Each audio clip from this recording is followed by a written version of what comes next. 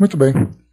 É, dando início então ao nosso estudo, o livro Sexo e Destino, de André Luiz, psicografia do Chico e Valdo Vieira, nós vamos retomar aqui o início do capítulo 6, para que a gente possa é, recapitular aquilo que nós vimos anteriormente. Esse capítulo 6 é bastante longo, então vamos lá, sem mais delongas. Nós lembramos então que naquele encontro em que Nemésio teve com Marina, é, em que trouxe aquele clima de bastante revolta para Neves, em que André Luiz acompanhava. Vimos aqui também a presença do irmão Félix, que veio é, em auxílio aos, aos participantes daquela situação. E ali então nós vimos aqui a. Só um instantinho. Deixa eu só pegar aqui o, o nome da. É Raquel, né? O nome dela? Deixa eu pegar aqui o nome dela que eu esqueci. Ah, só um instantinho. Beatriz. Então, Dona Beatriz, que era aqui a nossa personagem, lembrando que ela tinha ali 47 anos de idade, né, casada com Nemésio, e ele então tinha ali uma relação extraconjugal ali com a Marina, né, onde ele, para quem ele dirigia ali muitas promessas, né, e Marina, por sua vez, tinha ali uma outra pessoa que ocupava o seu coração.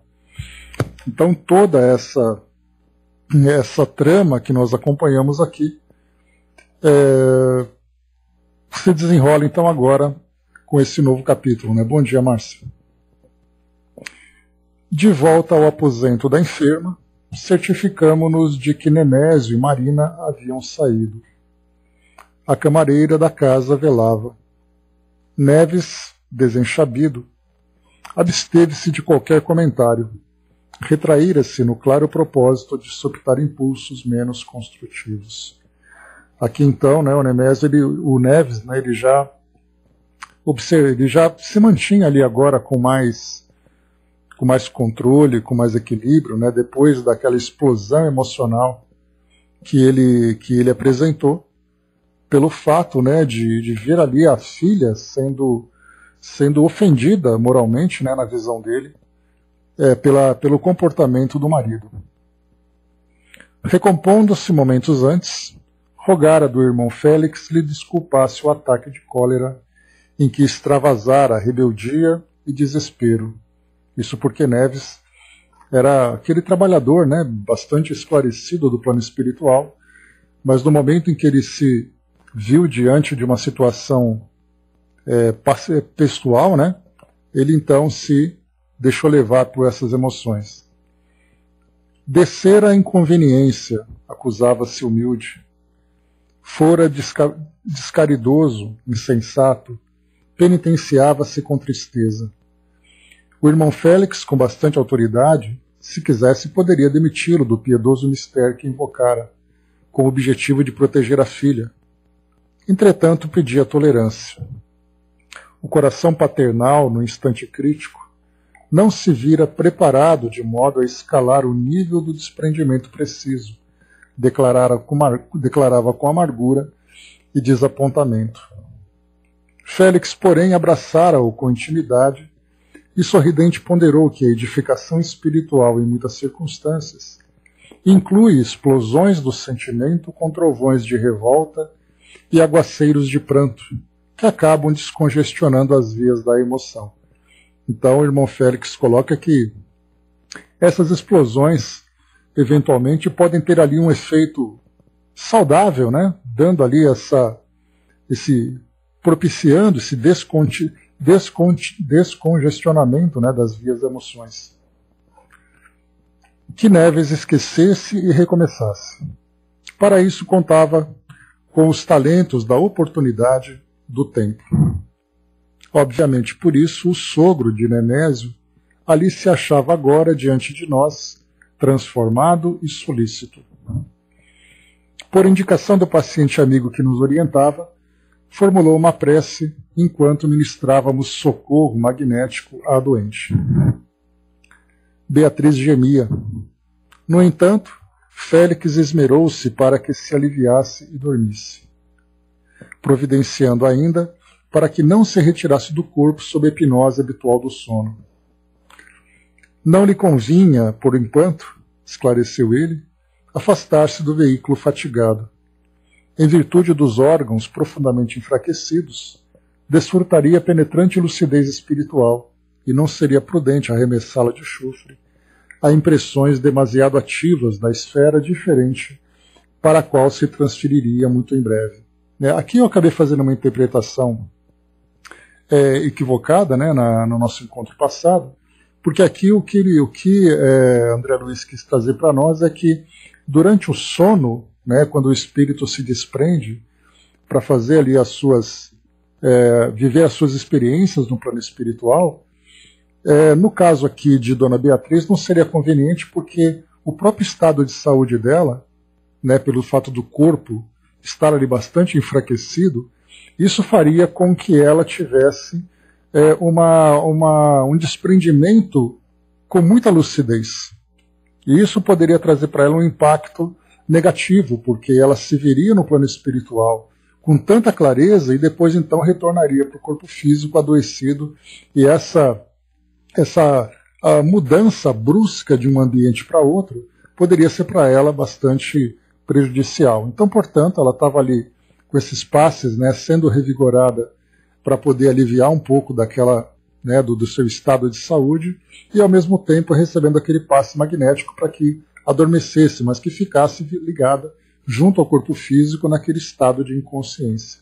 Né? Então aqui que isso que André Luiz quis colocar para nós porque em breve ela seria então transferida para o plano espiritual, ela desencarnaria. Mas por enquanto, né, que as coisas acontecessem, aquele como ele coloca aqui no próximo parágrafo.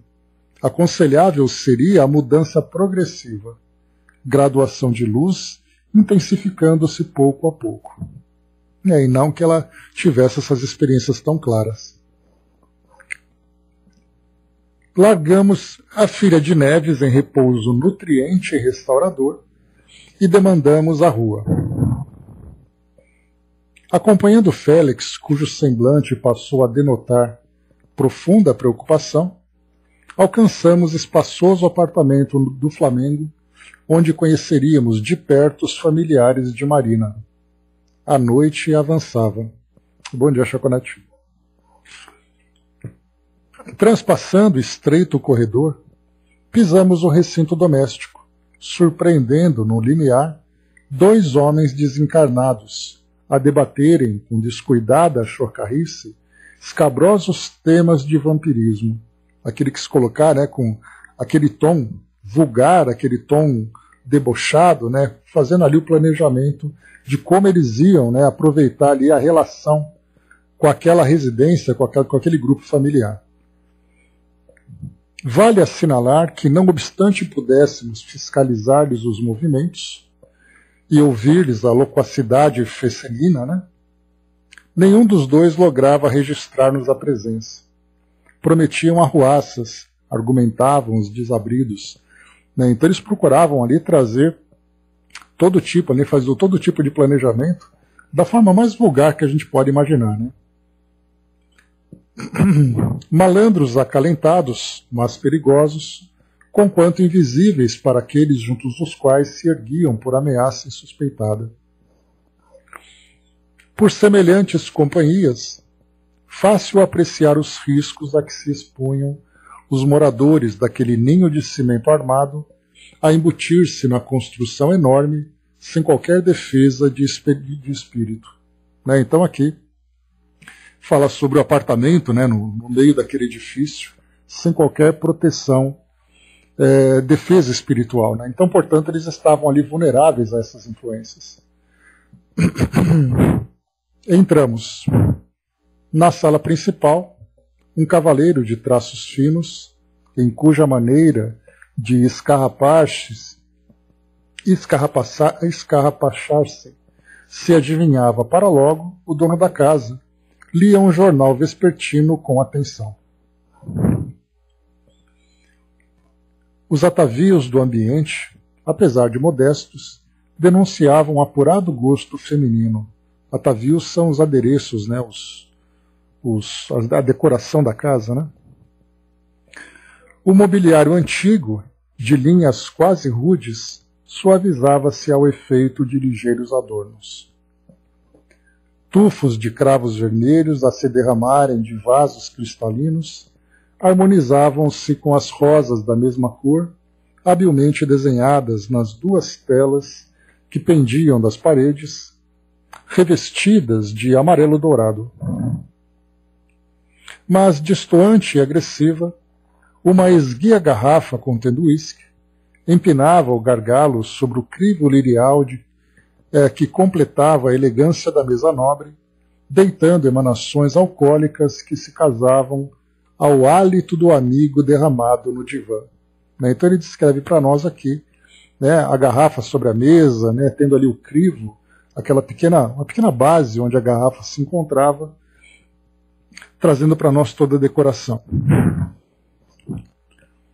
Félix encarou-o, manifestando a expressão de quem se atormentava piedosamente ao vê-lo e nulo indicou. Temos aqui o irmão Cláudio Nogueira, pai de Marina e tronco do lar fisguei-o de relance. Figurou-se-me o hospedeiro involuntário, um desses homens maduros que se demoram na quadra dos 45 janeiros, esgrimindo bravura contra os desbarates do tempo. Rosto primorosamente tratado, em que as linhas firmes repeliam a notícia vaga das rugas, cabelos penteados com distinção, unhas polidas, pijama impecável. Os grandes olhos escuros e móveis pareciam imanizados às letras, pesquisando motivos para trazer um sorriso irônico aos lábios finos. Então ele ficava ali concentrado né, nas notícias dos jornais, procurando algo que trouxesse para ele ali né, aquele motivo de, de ironia e tudo mais. Entre os dedos da mão, que descansava à beira do sofá, o cigarro fumegante quase rente ao tripé anão, sobre o qual um cinzeiro repleto era silenciosa advertência contra o abuso da nicotina. Né? Então era ali um, um fumante, né? então é, com, com, com, uma, com, com abuso, né? juntamente com álcool e tudo mais, apesar de toda a finesse que ele apresentava na sua, pelo menos, estética física. Né? Detínhamo-nos curiosos na inspeção quando sobreveio o inopinado. Diante de nós, ambos os desencarnados infelizes que surpreendêramos à entrada, surgiram de repente, abordaram Cláudio e agiram sem cerimônia. Um deles tateou-lhe um dos ombros e gritou insolente: Beber, meu caro, quero beber. A voz encarnecedora agredia-nos a sensibilidade auditiva. Cláudio, porém, não lhe pescava o mínimo som. Mantinha-se atento à leitura, inalterável. Contudo, se não possuía tímpanos físicos para qualificar a petição, trazia na cabeça a caixa acústica da mente sintonizada com o apelante. O assessor inconveniente repetiu a solicitação algumas vezes na atitude do hipnotizador, que insufla o próprio desejo, reasseverando uma ordem.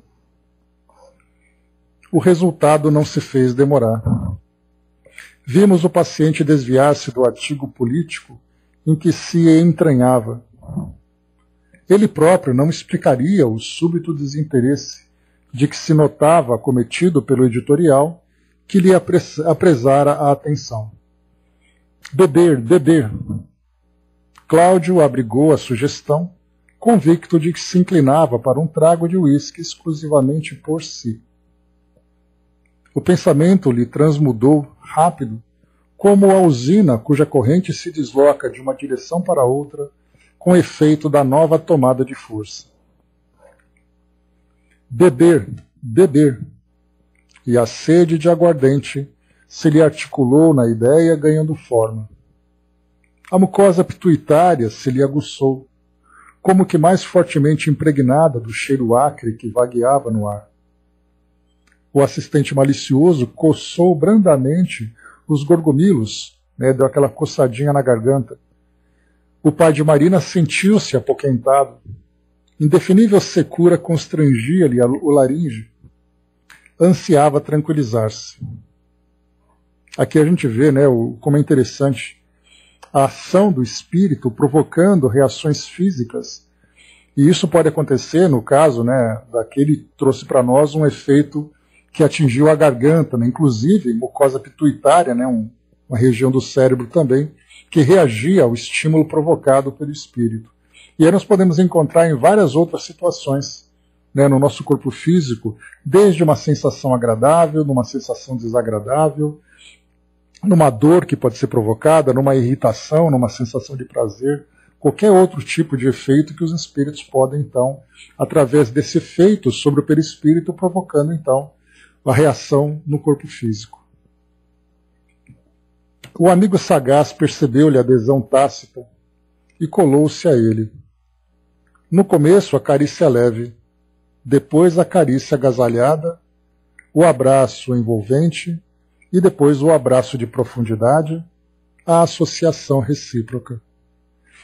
Integraram-se ambos em exótico sucesso de enxertia fluídica. Então foi mostrando para nós aqui gradualmente né, a forma como a relação entre os dois, entre o encarnado e o desencarnado, acabou se dando. Em várias ocasiões, estudar a passagem do espírito exonerado do corpo carnal na matéria espessa. Eu mesmo, quando me fazia de novo ao clima da espiritualidade, após a desencarnação última, analisava impressões ao transpor maquinalmente obstáculos e barreiras terrestres, recolhendo nos exercícios feitos a sensação de quem rompe nuvens de gases condensados.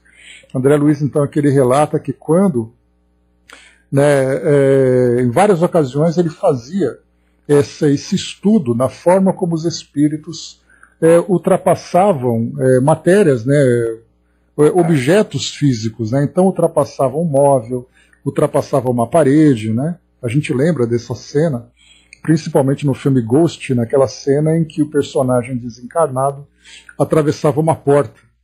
E o efeito que aquilo provocava sobre ele, né, uma sensação nova, uma sensação estranha que ele experimentava. E aqui André Luiz faz esse comentário, que ele várias, em várias ocasiões ele percebeu esse tipo de situação. Ali, no entanto, produzia-se algo semelhante ao encaixe perfeito. Então ali ele faz uma comparação entre a forma como o espírito se aproximou, e é aqui o que ele relata para nós, né?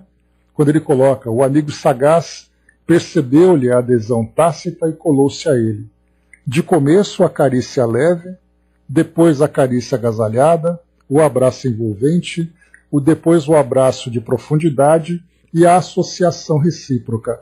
Então André Luiz ele faz uma comparação entre essa associação entre espírito e entre desencarnado e encarnado, fazendo uma comparação quando o espírito então desencarnado atravessa uma parede. Naquele momento, vamos imaginar que ele atravessa uma parede, ele fica no meio da parede. Né, como se fosse coabitando o mesmo espaço. E ali o que André Luiz observa é que o espírito também se comportava da mesma forma. E naquele filme Ghost a gente vai se lembrar em algumas cenas em que via aquela impressão de um espírito entrando no corpo do médium. Né? Então é, é mais ou menos essa situação que André Luiz traz para nós. Então ele vai continuar aqui. Ali, no entanto, produzia-se algo semelhante ao encaixe perfeito. Cláudio, homem, absorvia o desencarnado, à guisa de sapato que se ajusta ao pé. Fundiram-se os dois, como se morassem eventualmente num só corpo. altura idêntica, volume igual, movimentos sincrônicos, identificação positiva. Então o que André Luiz coloca é o que ele observava era aquele dois corpos em um, literalmente um dentro do outro. Por isso que ele coloca altura idêntica, volume igual, como se nós olhássemos um indivíduo é, é, encarnado e junto dele nós víssemos um, uma imagem sobrepostas, sobreposta. Levantaram-se a um tempo e giraram integralmente incorporados um ao outro, na área estreita, arrebatando o delgado frasco, ou seja, pegando a garrafa, né? Não conseguiria especificar de minha parte a quem atribuir o impulso inicial de semelhante gesto. Se a Cláudio que admitia a instigação, ou se ao obsessor que a propunha. A talagada rolou, né, o gole da bebida, né, rolou através da garganta, que se exprimia por, du, por dualidade singular. Ambos os dipsônamos estalaram a língua de prazer em ação simultânea. Então os dois que bebiam, né, que, que ingeriam a bebida alcoólica, fizeram o mesmo gesto. Desmanchou-se a parelha e Cláudio, desembaraçado, se dispunha a sentar, quando o outro colega, que se mantinha à distância, investiu sobre ele e protestou: Eu também, eu também quero reavivou-se-lhe no ânimo a sugestão que esmorecia. Absolutamente passivo diante da incitação que o assaltava, reconstituiu mecanicamente a impressão de insaciedade. Bastou isso, e o vampiro, sorridente, apossou-se dele, repetindo-se o fenômeno da conjugação completa encarnado e desencarnado a se justaporem. Duas peças conscientes reunidas em sistema irrepreensível de compensação mútua. Então a gente vê aqui como isso é, é curioso o que André Luiz traz para nós. Né? Então ali na verdade nós temos matéria sobre uma matéria sutil é, misturada com a matéria densa. E ambos ali seguindo o mesmo controle. Ou seja, numa verdadeira ação de fantoche, né? O que um deseja, o outro responde. E aqui nós vamos perceber mais para frente que André Luiz vai trazer para nós aqui uma, um esclarecimento que ele vai pensar assim, né? Quem é causa, quem é efeito? Quem provoca, quem responde? E aí depois a gente vai tentar entender quem é ali o, o quem é a vítima e quem seria o algoz, entre aspas, né? Porque aqui não é uma relação de obsessão necessariamente, mas ali a gente tem uma conjugação de ideias. Espíritos sintonizados na mesma faixa, encarnado e desencarnado, todos eles ali respondendo aos mesmos interesses. Então veremos com mais, com mais detalhes essa relação. Aberei-me de Cláudio para avaliar com imparcialidade até onde sofreria ele mentalmente aquele processo de fusão. Para logo convenci-me de que continuava livre no íntimo. Não experimentava qualquer espécie de tortura a fim de render-se. Hospedava o outro simplesmente, aceitava-lhe a direção, entregava-se por deliberação própria nenhuma simbiose em que se destacasse por vítima. A associação implícita, mistura natural. Efetuava-se a ocorrência na base da percussão. Ou seja, né, um provocava um barulho, por exemplo, e o outro respondia como eco. Apelo e resposta. Cordas afinadas no mesmo tom. O desencarnado alvitrava o desencarnado aqui sugeria, e o encarnado aplaudia. Num deles o pedido, no outro a concessão. Condescendendo em liquear os próprios sentidos, né, em prender ali os próprios sentidos, em tomar posse dele, né? Cláudio acreditou-se insatisfeito e retrocedeu, sorvendo mais um gole. Não me furtei a conta curiosa. Dois goles para três. Novamente desimpedido, o dono da casa estirou-se no divã e retomou o jornal.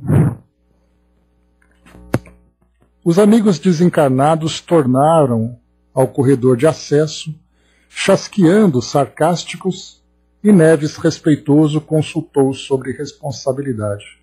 Então os dois espíritos ali saíram satisfeitos, né? zombando da situação, de quão fácil foi controlar o, o Cláudio né, nos seus interesses e tudo mais, como foi fácil manipular.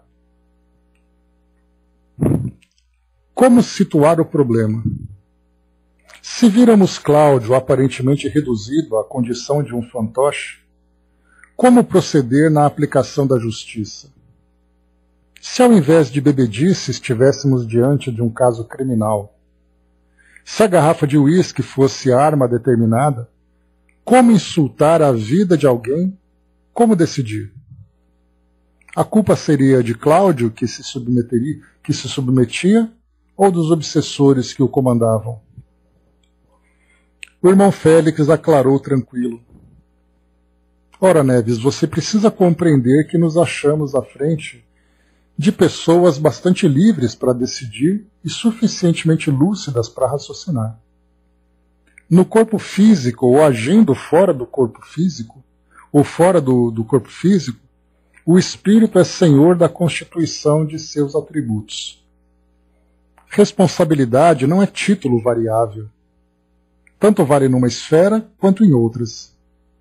Cláudio e os companheiros na cena que acompanhamos são três consciências na mesma faixa de escolha e manifestações consequentes.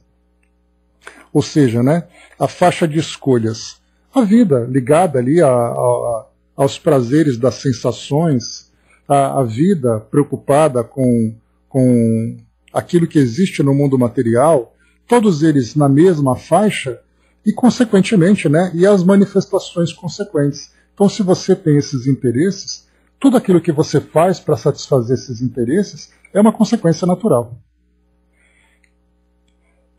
Todos somos livres para sugerir ou assimilar isso ou aquilo.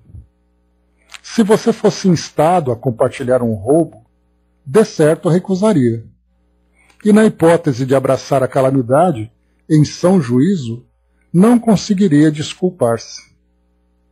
É, aqui a gente começa a, a falar sobre a influência espiritual, não entrando nos processos obsessivos, porque nós temos os casos né, de subjugação, né, nós temos aqueles casos mais graves, até mesmo de possessão, que nós já estudamos, que, em que nós temos a, muitas vezes ali uma dificuldade para poder saber qual é o grau de lucidez que o espírito apresenta, que o encarnado apresenta, diante daquelas situações. Né? Então, por exemplo, nós já vemos casos que saem, é, que são relatos que são é, veiculados na mídia, de uma pessoa que diz assim: olha, eu cometi um crime, mas é porque eu fui provocado, eu fui, é, eu fui obrigado a fazer isso por causa de demônios, por exemplo. Relatos que saem mesmo na mídia, pessoas que, depois que elas estão presas, né, elas falam assim: olha, foi o diabo que fez isso comigo. E ali nós vemos, nesses casos, né, casos de obsessão. Mas ali nós vamos tentar depois avaliar qual é exatamente ali o grau de capacidade que uma pessoa tem de resistir a essa indução, já que ele se encontra num processo obsessivo nesse grau de obsessão, porque a gente lembra que a obsessão ela vai sendo construída. No caso de Cláudio, por exemplo, ele sofre uma influência espiritual por estar na mesma faixa vibratória. Mas quando nós pensamos em processos obsessivos mais graves, muitas vezes ali, aquele que é obsediado, ele já não tem mais controle sobre as próprias ações. Nós estudamos, por exemplo, nos livros de Kardec, lá no livro dos médiuns, quando ele relatava que uma pessoa ficava né, fazendo juras de amor, se ajoelhando em frente a uma mulher no meio da rua, passando constrangimentos. O outro escrevia pelas paredes com o dedo, sendo induzido por um espírito num processo obsessivo. Então, se ele percebia que aquilo gerava para ele um constrangimento e que aquilo para ele era desagradável, por que, que ele não podia controlar? Então, se essa situação fugia do controle, Será que uma situação de crime também seria controlada naqueles casos, casos mais graves de subjugação? pessoas que cometem suicídio induzidas por um espírito. Então nós temos ali várias questões a levantar, inclusive tratando da própria saúde mental do encarnado. Porque quando nós falamos em suicídio, por exemplo, quando o indivíduo é tomado por uma loucura, nós temos ali não apenas o seu estado mental alterado, mas a própria indução de espíritos que, nesses processos obsessivos, o levam a cometer o suicídio. E nesse caso, ele tem menos responsabilidade do que aquele que comete um suicídio de uma forma deliberada. Embora ali todas as circunstâncias que o levam ao desequilíbrio, né, a tomar esse tipo de atitude.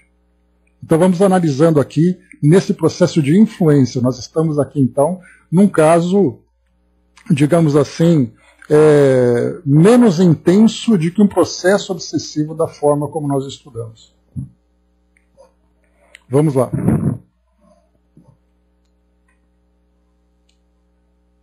Interrompeu-se o mentor, volvendo a refletir após momento rápido. Hipnose é tema complexo, reclamando exames e reexames de todos os ingredientes morais que lhe digam respeito. Nós estudamos sobre hipnose, né? Lá com André Luiz, no Mecanismos da Mediunidade, que ele dedicou vários capítulos falando sobre isso, mostrando que a hipnose nada mais é do que você induzir alguém com uma sugestão e ele responder isso pelo fato dele estar, é, dele estar é, é, é, aberto a esse, esse tipo de sugestão. Então, por isso que ele coloca aqui da complexidade. E ele fala também aqui sobre os ingredientes morais, porque, como nós estudamos, eu, eu posso, num processo de hipnose, sugerir alguma coisa para alguém. E embora aquele que receba, que seja induzido pela hipnose, é, é, receba essa sugestão, ele tem ali a liberdade de aceitar ou negar aquilo que foi apresentado para ele. Num caso de um processo terapêutico, né, ele naturalmente se entrega a essa sugestão do terapeuta, sabendo exatamente ele pela confiança, pela, pela importância que aquilo vai proporcionar para ele. Para a saúde, ele acaba aceitando. Mas muitas vezes isso pode surgir de um modo muito mais grave como foi colocado, né? Se por acaso numa hipnose induz alguém a cometer um crime, moralmente aquela pessoa não estando de acordo com esse tipo de comportamento, ele acaba então se recusando. Nós até vimos, né, na reportagem que nós lemos, né, um, filmes que foram produzidos em que alguém passa por um processo de hipnose e depois, a partir ali de um toque de telefone, de um sinal, de uma palavra, desencadeia nele né, uma sequência de comportamento em que ele vai então cometer um crime. Por exemplo, né, numa ligação, o indivíduo vai e mata o presidente dos Estados Unidos, que era ali o roteiro do filme. Mas na prática, na prática, se aquela pessoa tem ali né, nos seus valores que o impede a cometer esse tipo de crime, então ele vai simplesmente recusar. Então é o que o, que o, o irmão Félix esclarece para André Luiz. Bom dia, Osmar. Então, mais uma vez, hipnose é um tema complexo, reclamando exames e reexames de todos os ingredientes morais que lhe digam respeito. A alienação da vontade tem limites. Chamamentos campeiam em todos os caminhos. Experiências são lições e todos somos aprendizes. Aproveitar a conveniência de um mestre ou seguir um malfeitor é deliberação nossa cujos resultados colheremos. Então a gente vê aqui que você pode receber a sugestão. Aceitar ou não aquela sugestão é uma liberdade que você tem e você aceita as consequências dela. E quando nós falamos em consequências, nós trazemos resultados positivos ou negativos. Se por acaso nós somos induzidos por um espírito amigo a buscarmos ali, a termos determinado comportamento que vai gerar para nós um benefício para nós ou para aqueles que estão próximos, nós teremos então, colheremos o resultado pela ação que nós praticamos. Se somos induzidos por um espírito ainda na condição de ignorância e nós aceitamos essa sugestão negativa, nós colheremos também o resultado dela, embora seja uma sugestão. Porque nós não podemos, imagi podemos imaginar de uma situação fácil de compreendermos o caso, por exemplo, de alguém que cometeu um crime eu me recordo de uma, uma situação que, que uma pessoa muito querida, era um amigo de, de, de, de adolescência, né, uma pessoa por quem eu tinha muita admiração, inclusive. Numa situação, ele foi preso. Ele foi preso porque numa dessas saídas, num fim de semana, ele acabou, junto com amigos, é, é, assaltando um casal né, que passava ali por uma rua. E aí veio aquela surpresa, né? Fulano foi preso, porque ele cometeu ali né, um assalto. Aí a polícia foi chamada, pegaram todos eles e tal, e ele ficou um tempo preso. E a gente percebia que pela educação e pela índole que ele tinha, que ele demonstrava, exatamente essa admiração porque eu tinha por ele, né, acabou causando essa surpresa para nós e para minha família. Que depois soubemos então que, na verdade, é porque, como ele estava ali no meio da galera, e aí então pensaram em, em fazer aquela, entre aspas, aquela arruaça, ele estava envolvido no meio. Então poderíamos dizer assim, olha, num depoimento, olha, mas ele não é assim, ele é uma pessoa boa, ele tem boa índole. Aí o delegado vai dizer, muito bem, ele tem boa índole, só que ele acabou de cometer um crime. Então não importa se ele fez isso por vontade ou por indução. Ele fez. Então, na realidade, nós vemos isso. Quer dizer, você não tem aquela história de atenuantes e agravantes quando você tem total liberdade para fazer essa escolha. Ele não foi obrigado a cometer o crime. Ele cometeu o crime porque ele quis cometer, apesar da influência que ele sofreu. Diferentemente do que nós estudamos ontem, por exemplo, ao estudarmos o Chico Xavier pede licença, quando nós vimos ali então aquele caso em que o indivíduo comete um assassinato, porque ele foi provocado numa briga, ele estava quieto, veio aquela briga, aconteceu tudo aquilo e de repente ele, durante a briga, ele não quis cometer o crime. Mas diante da provocação acabou vindo aquele desequilíbrio todo e aí então ele acabou sofrendo, né, acabou se tornando ali o, o responsável por aquele crime. Então nós temos ali atenuantes e agravantes que vão, é, que vão é, sendo pesados nessa balança da justiça divina, digamos assim. Então aqui nesse caso ele coloca para nós, né, que é, as, o, no caso da hipnose você tem a sugestão, mas a, você tem a liberdade, de acordo com o seu grau de lucidez, a liberdade de dizer sim ou dizer não. Verificando que o orientador se dava pressa em ultimar os esclarecimentos, sem mostrar o mínimo propósito de afastar as entidades vadias que pesavam no ambiente, Neves voltou à carga, no intuito louvável do aluno que aspira a completar a lição. Pediu vênia para repisar o assunto na hora.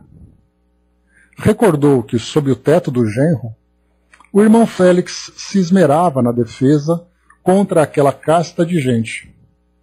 Amaro, o enfermeiro prestimoso, a gente lembra que quando André Luiz e Neves chegaram até a casa da Beatriz, o Amaro, que era aquele enfermeiro sisudo, estava ali junto à enferma, né, cuidando dela, tal, protegendo o ambiente e tudo mais. Então, recordou que sob o teto do genro, o irmão Félix se esmerava na defesa contra aquela casta de gente. Amaro, enfermeiro prestimoso, fora situado junto de Beatriz, principalmente para correr com intrometidos desencarnados. O aposento da filha tornara-se, por isso, um refúgio. Ali, no entanto, ali né, na casa de Cláudio, no entanto, e perguntava pelo motivo da direção diversa.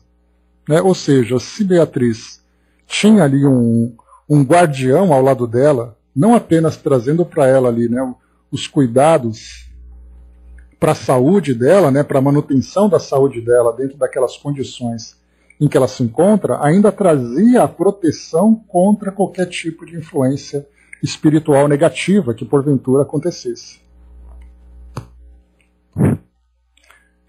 Então foi feita essa pergunta: por que, que havia essa diferença entre os dois ambientes?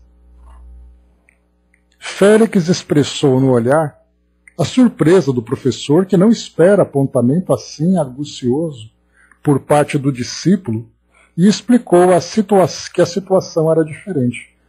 Então Félix ali na hora, quando, quando Neves fez essa pergunta, aquela expressão, né, que, poxa, que pergunta inteligente a sua. a esposa de Nemésio mantinha o hábito da oração.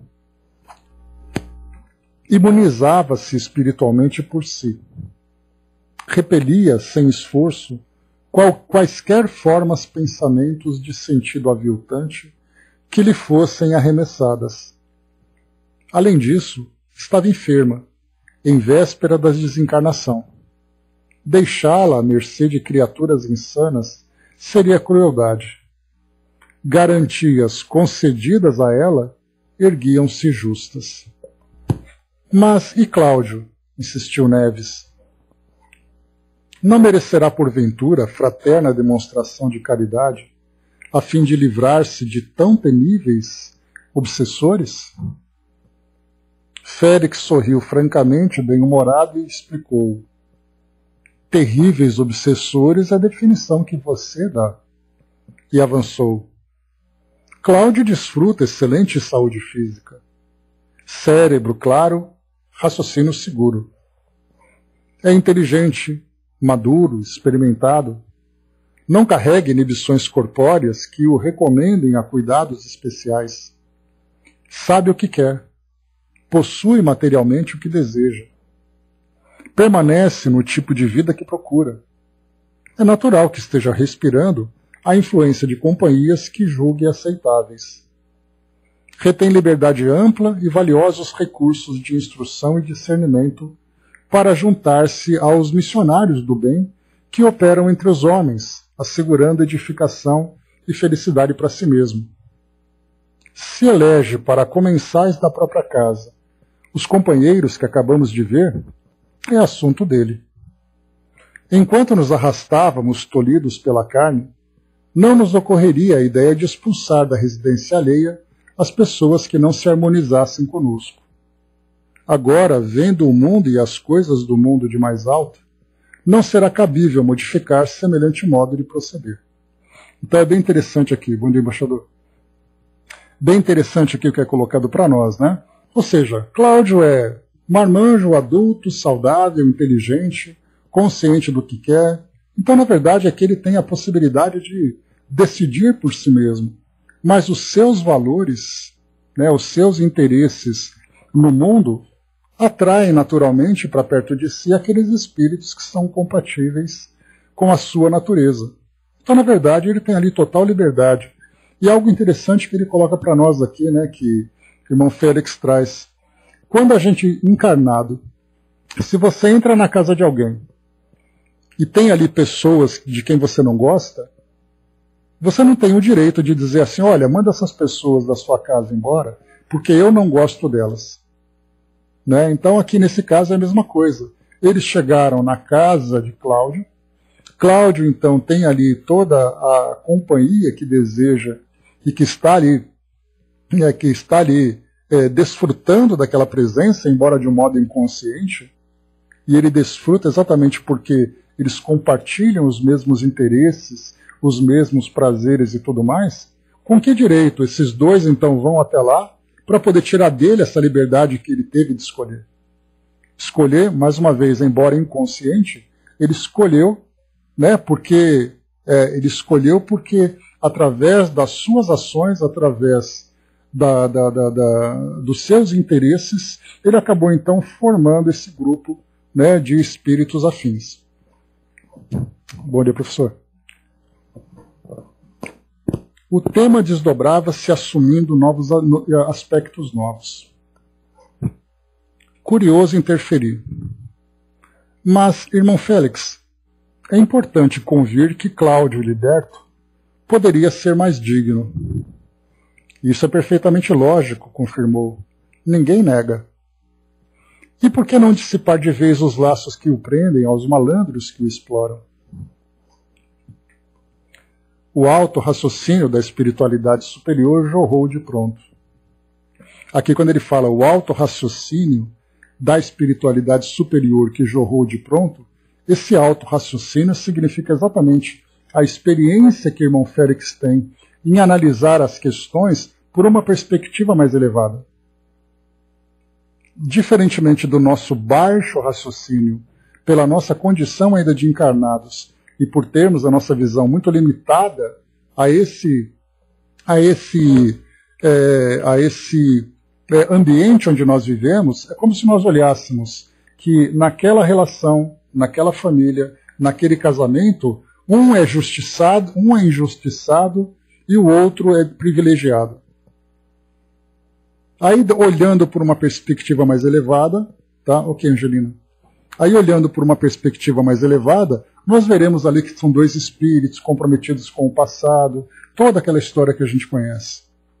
Então, geralmente, o mundo analisa isso, né? De você ver uma pessoa tão boa que morreu. É a nossa visão limitada do mundo. Aquele espírito, então, desencarnou, depois de ter vivido todas as suas experiências, retorna ao mundo espiritual como um espírito, um espírito completista, como diz André Luiz, já é uma visão mais elevada. Então, essa sabedoria que, a que se refere aqui André Luiz é exatamente isso. Nós olhamos, né, poxa vida, mas Cláudio se encontrava na casa com dois espíritos ali, né, obsessores, o influenciando constantemente. Não seria justo que nós tirássemos aquele espírito para dar liberdade para que Cláudio fizesse as suas próprias escolhas? Esse é o nosso raciocínio simples. Aí então vem agora a sabedoria do mais alto. Cláudio certamente não lhes empresta o conceito de vagabundos. Para eles são sócios estimáveis, amigos caros, né? embora é, inconsciente, né? ele, ele é, atrai para si aqueles espíritos pela, exatamente pela sua, pela, pela, pelo seu comportamento, pela sua conduta. Por outro lado, ainda não investigamos a causa da ligação entre eles para cunhar opiniões extremadas. É, a gente vai lembrar que uh, se existe causa e existe efeito, da mesma forma que nós olhamos um efeito, nós temos que buscar a causa. Então é um caminho de ida e ao mesmo tempo um caminho de volta. No caminho, no caminho de ida, nós iniciamos analisando quais são as ações que nós estamos tendo agora e nós temos então condições de projetar a curto, médio ou longo prazo as consequências daquela ação que foi praticada naquele momento. Quando nós nos encontramos com os efeitos, e Kardec lembra isso lá no Evangelho segundo o Espiritismo, Bem-aventurados os aflitos, no capítulo 5, quando ele fala que quando nós encontramos um sofrimento, uma situação de dificuldade, basta nós remontarmos a causa para entendermos como tudo começou. Aqui nós encontramos o efeito, que é a presença daqueles espíritos comungando aquele ambiente e também ali as, eh, as ações, as escolhas de Cláudio. Vamos então tentar remontar a causa para saber exatamente por que eles estão ali. Então, esse é o raciocínio que é trazido aqui por irmão Félix. Então, mais uma vez,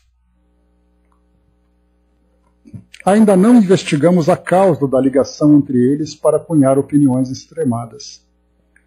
As circunstâncias podem ser saudáveis ou enfermiças, como as pessoas. E para tratarmos um doente com segurança, há que se analisar as raízes do mal e confirmar os sintomas, aplicar a medicação, estudar os efeitos. Aqui vemos um problema pela rama. Quando terá nascido a comunhão do trio? Os vínculos serão de agora ou de existências passadas? Nada legitimaria um ato de violência da nossa parte com o intuito de separá-los a título de socorro. E seriam, isso seria o mesmo que apartar os pais generosos dos filhos ingratos, ou os cônjuges nobres dos esposos ou das esposas de condição inferior, sob pretexto de assegurar limpeza e bondade nos processos de evolução. A responsabilidade tem o tamanho do conhecimento não dispomos de meios precisos para impedir que um amigo se onere em dívidas escabrosas ou se despenque em desatinos deploráveis, conquanto nos seja lícito dispensar-lhe o auxílio possível, a fim de que se acautele contra o perigo no tempo viável, sendo de notar-se que as autoridades superiores da espiritualidade chegam a suscitar medidas especiais que impõem aflições e dores de importância aparente a determinadas pessoas, com o objetivo de livrá-las da queda em desastres morais iminentes, quando mereçam esse amparo de exceção. Então, olha que interessante aqui, né? Há casos, então, em que autoridades superiores da espiritualidade até sugerem: olha, vamos debilitar aquela pessoa fisicamente para que ela não, não vivencie determinada experiência porque ela tem valores para isso. Ela tem, ela tem é, é, créditos para receber esse tipo de benefício. Mas para isso existe ali um, um, uma, uma equação com variáveis que nós sequer conhecemos. Por isso, então, a necessidade, entre aspas, de olharmos os prontuários de cada um para saber exatamente qual é a sua história, qual é exatamente os, quais são os seus valores, quais são as suas realizações, quais são as suas rela, relações, para depois então tomarmos ações. Porque se nós fizermos isso de um modo de um modo é, superficial, simplesmente dizermos, olha, eu acho que aquela pessoa merece ser ali ajudada. Que é o caso que eu comentei com vocês e que André Luiz aqui reforçou. Quando você tem ali pais com filhos ingratos, qual seria a nossa ação? Pega esses filhos, joga para fora de casa e deixa os pais ali quietinhos, bonzinhos, vivendo suas vidas. Mas aí então, se nós analisarmos, mas espera aí, aqueles filhos reencarnaram junto com aqueles pais exatamente para que aquele grupo se harmonize, cada um ali respondendo pelas suas escolhas do passado. E é isso que a doutrina espírita traz para nós no seu aspecto consolador, trazendo para nós ali respostas, trazendo para nós esclarecimentos sobre várias situações das nossas vidas, especialmente aquelas em que geram em nós sofrimentos, por isso que ele é consoladora, geram dificuldades para a nossa compreensão, mostrando exatamente que se elas existem, trazem um propósito que nós, através da nossa força, através da nossa vontade, através da nossa determinação, resiliência, nós conseguimos então superar aquelas dificuldades colhendo seus frutos. E continua.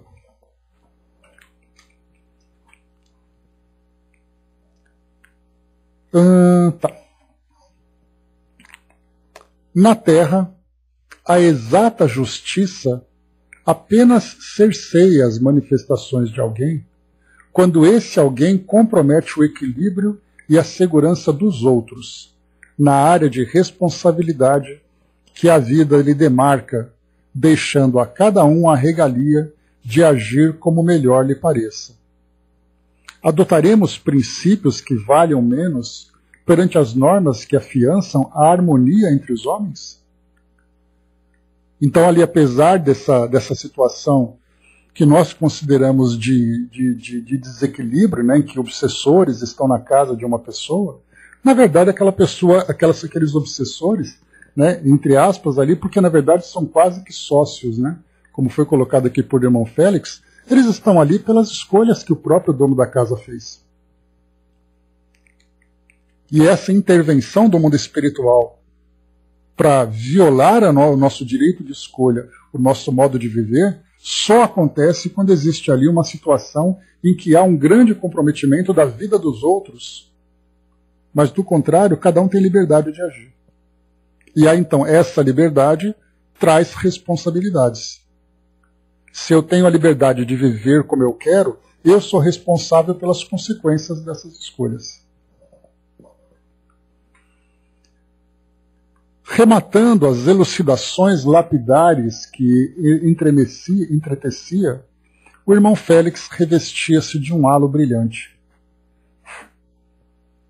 Elevados, não encontrávamos em nós senão silêncio para significar-lhe admiração ante a sabedoria e a simplicidade. Então a gente viu que semelhante raciocínio de tão alto valor fazia exatamente ali com que ele irradiasse essa sabedoria através desse halo brilhante. O instrutor fitava Cláudio com simpatia, dando a entender que se dispunha a abraçá-lo paternalmente E, receando talvez que a oportunidade escapasse, Neves, humilde e respeitoso, pediu, pediu se lhe releva, rele, rele, relevasse a insistência. Entretanto, solicitava fosse aclarado ainda um ponto dos esclarecimentos em vista. Então ali Neves, né, embora um grande trabalhador do plano espiritual, era também ali alguém que buscava esclarecimentos, né? Então ele pedia desculpas ali pela insistência naquele tema, porque ainda faltava ali algum um outro ponto para ser melhor esclarecido. Diante do mentor paciente, perguntou pelos promotores de guerra entre os homens. Declarara Félix que a justiça tacitamente cerceia as ações dos que ameaçam a estabilidade coletiva. Como entender a existência de governantes transitórios, erigindo-se na terra em verdugos de nações? Aqui uma pergunta agora de cunho mais filosófico, né?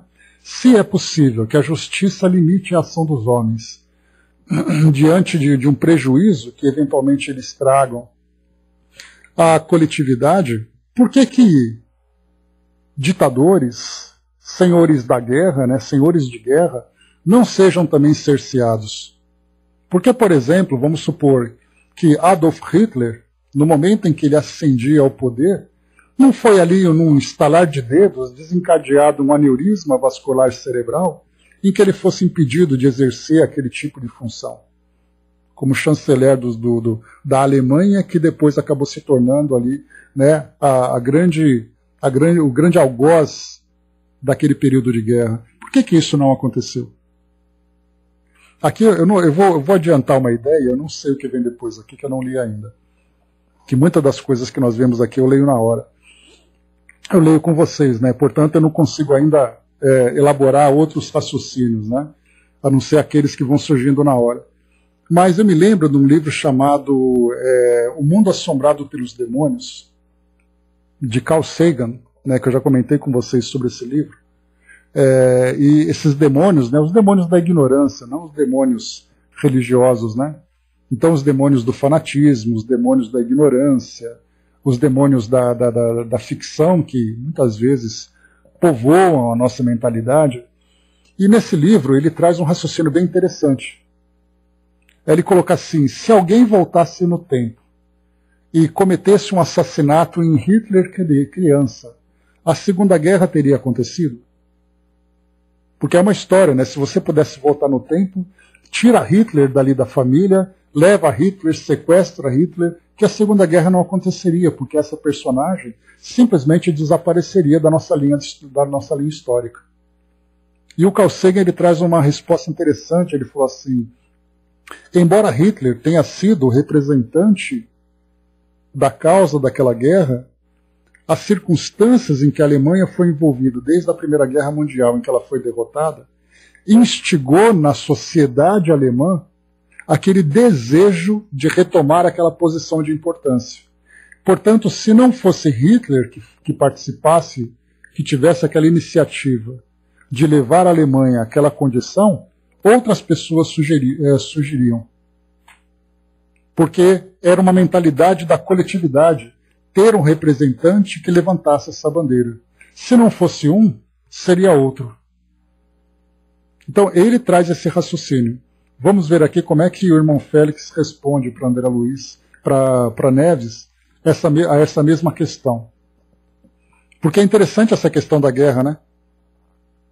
Quando nós vemos assim as coisas acontecendo, a gente vê muitas vezes a própria população é, é, abraçando essa causa.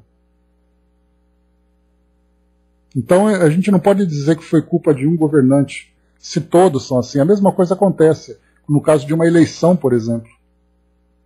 Um presidente que é eleito e ele coloca em prática o seu projeto eleitoral, seu projeto de governo, que ele apresentou durante o período de propaganda eleitoral e a população votou nessa pessoa, e quando as coisas começam a se tornar práticas, começam a realizar. Está aqui sim, Dudu, estamos estivermos. Então, quando começa a acontecer, na verdade, nós não podemos culpar aquela pessoa que está pondo em prática o projeto. já que foi a população que o elegeu. Então a gente percebe que essa responsabilidade é uma responsabilidade coletiva, não é individual.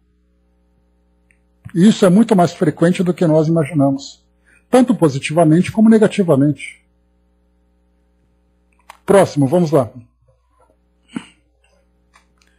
Então, é, continua assim para nós essa resposta. Mas é, Hermes, né, a gente percebe que você vai diluindo, então. Né? A gente vê, por exemplo, né, uma situação é, nos Estados Unidos, quando Donald Trump foi eleito. Então era aquela, aquela visão mais nacionalista, é aquela visão é, mais, mais radical, mas a gente percebe que ele foi eleito por uma massa da população. Então aquelas pessoas levantavam essa bandeira, participavam dos eventos, faziam seus protestos, defendendo exatamente aquele, aquela ideologia. Então não dá para dizer que ele é o responsável. As pessoas estavam também ali envolvidas, assumindo a sua cota de responsabilidade. Mas vamos aqui para essa pergunta que é muito interessante. Mais uma vez, então, aqui só para a gente contextualizar. Diante do mentor paciente, perguntou pelos promotores de guerra entre os homens. Declarar a Félix que a justiça tacitamente cerceia as ações dos que ameaçam a estabilidade coletiva. Ou seja, cercear as ações significa impedir que ele faça aquilo, pela ameaça à estabilidade coletiva. Como entender a existência de governantes transitórios erigindo-se na terra em verdugos de nações? Félix sintetizou, reempregando algumas das palavras de que se utilizara. Dissemos cercear no sentido de corrigir, restringir. Assinalamos igualmente que toda criatura vive na área de responsabilidade em que a lei, a lei lhe delimita. Compreendendo-se que a responsabilidade de alguém se enquadra ao tamanho do conhecimento superior que esse alguém já adquiriu, é fácil admitir que os compromissos da consciência assumem as dimensões da autoridade que lhe foi atribuída. Uma pessoa com grandes cabedais de autoridade pode elevar extensas comunidades às culminâncias do progresso e do aprimoramento ou afundá-las em estagnação e decadência.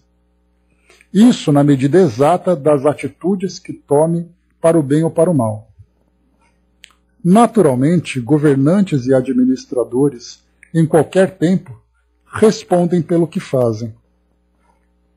Cada qual dá conta dos recursos que lhe foram confiados e da região de influência que recebeu, passando a colher, de modo automático, os bens ou os males que haja semeado.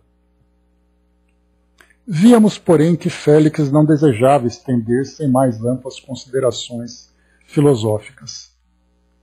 Assentando no rosto a expressão de quem nos pedia transferir para depois qualquer nova interrogação, acercou-se de Cláudio a envolvê-lo nas suaves irradiações do olhar brando e percussiente. Estabeleceu-se ligeira e doce expectativa. Então aqui a gente vê que não foi respondida essa questão. Mas a partir desse raciocínio que nós vimos, não é difícil da gente pensar dessa forma.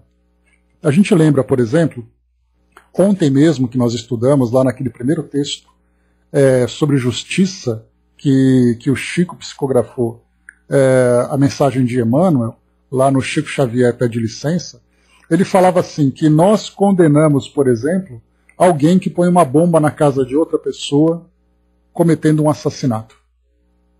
Mas nós não pensamos quem fabricou a bomba, a, a bomba quem é, guardou aquela bomba, quem conhecia aquele plano, quem viu aquele plano sendo executado e não fez nada para impedir, até o momento em que a bomba explodiu. Ou seja, nós vemos ali uma cadeia de responsabilidades em maior ou menor grau, em que você apoia, em que você se cala e consente, em que você executa todos ali têm nessa cadeia de responsabilidades, tem ali a sua própria cota. Então, para nós é muito difícil ainda Porque nós temos essa visão, como nós, como nós vimos nas páginas anteriores, nós temos essa visão ainda bastante limitada, porque nós vemos apenas ali o fato em si e fazemos um julgamento a partir desse fato.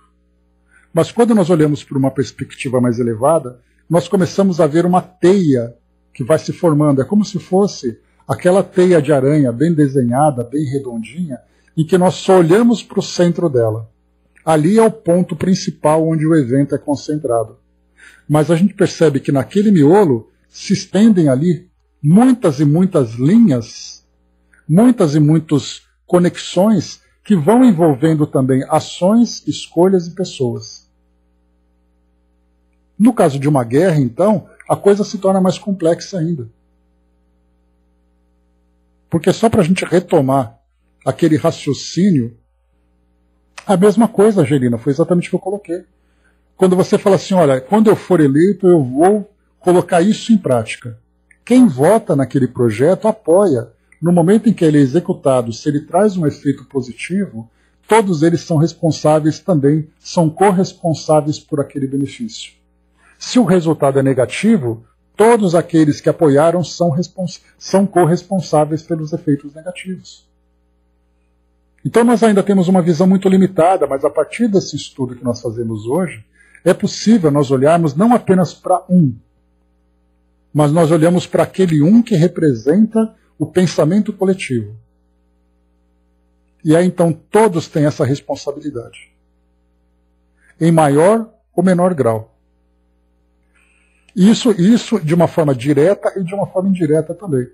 Porque eu posso não dizer para você que eu apoio, mas o meu pensamento e os meus sentimentos de satisfação diante daquilo que aconteceu me coloca vibratoriamente como corresponsável por aquilo também. E aí a gente começa a entrar num campo cada vez mais sutil, mas o fato de ser sutil e cada vez mais sutil não nos exonera das responsabilidades diante daquilo que acontece no nosso mundo e até mesmo no universo. Quando a gente começa a expandir para uma área cada vez mais extensa. Vamos em frente.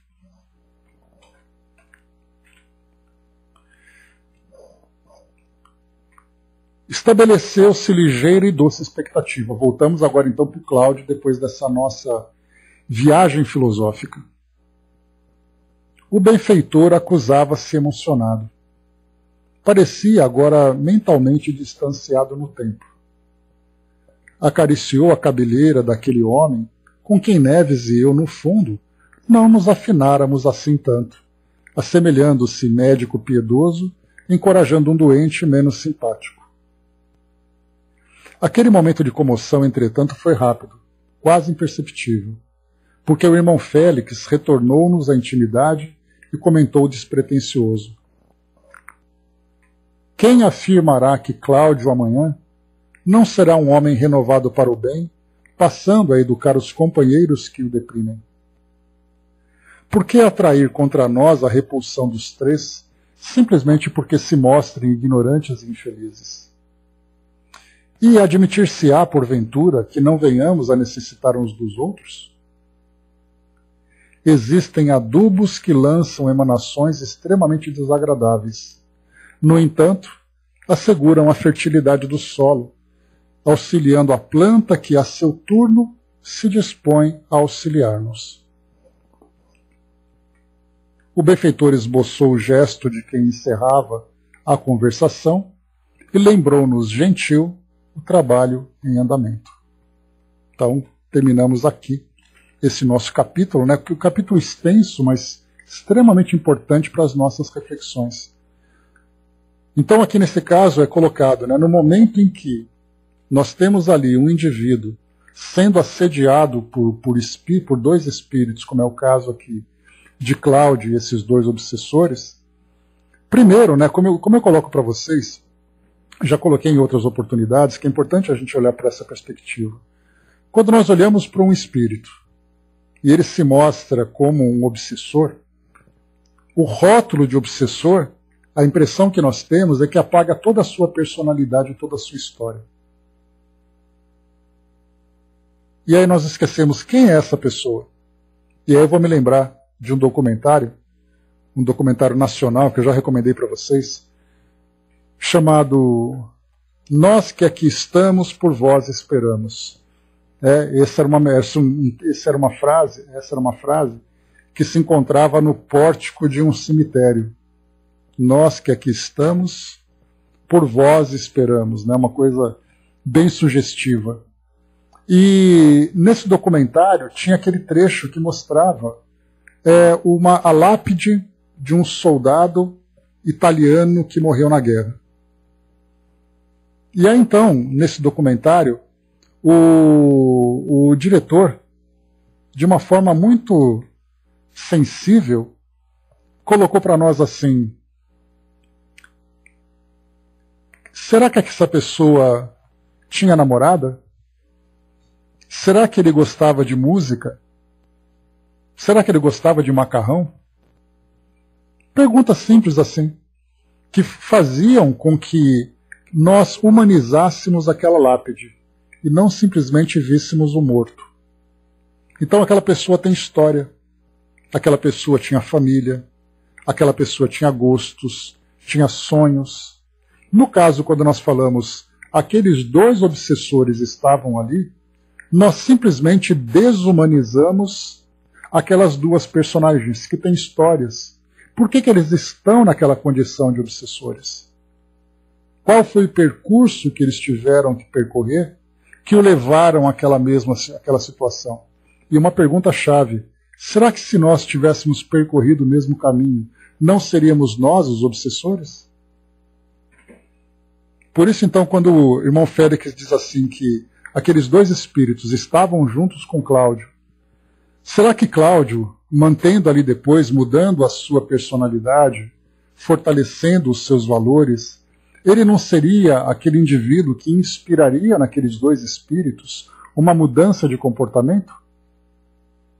Então foram essas perguntas que ficaram no ar e que a gente depois então segue aqui fazendo essa análise, porque nós percebemos, né, que nós começamos primeiro com a família é, de, de Nemésio, ou a família de Neves, que ele tinha Dona Beatriz, ele tinha três filhos, dois homens e a Beatriz, que era a menina. Né? Na, na verdade, ele tinha esposa, tinha três filhos, que eram dois meninos e mais a, a Beatriz.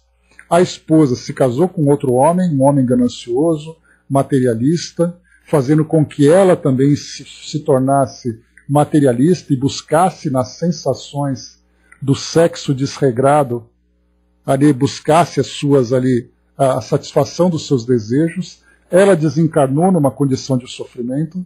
Os dois filhos se tornaram também materialistas e apegados, porque a família tinha um patrimônio. E esse segundo marido, é, esse padrasto, instigava neles esses mesmos tipos de, de, de tendências, e a Beatriz, que era a filha ali, que era aquela que era mais afinada com Neves, era aquela que tinha ali valores, era aquela que era mais dócil e que agora estava nesse processo de desencarnação. Saímos desse núcleo e vimos agora então para Nemésio, que se envolveu com a jovem Marina. E agora estamos conhecendo a história de Marina, onde nós conhecemos o pai dela, que é o Cláudio, vendo então toda essa situação acontecendo na casa deles. Então, esse é o ambiente onde nós estamos transitando, passando de uma família para outra.